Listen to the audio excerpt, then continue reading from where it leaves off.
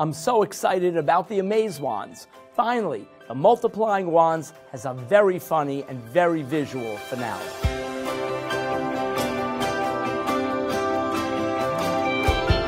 This is a great utility prop using the iconic Magician's Tool, the Magic Wand. The Amaze Wands are bright, colorful, lightweight, but very sturdy. And there are so many approaches to using the Amaze Wands.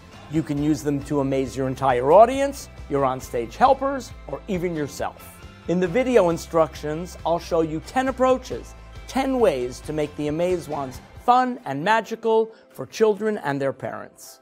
So, get the Amaze Wands and make your family magic show even more magical and amazing.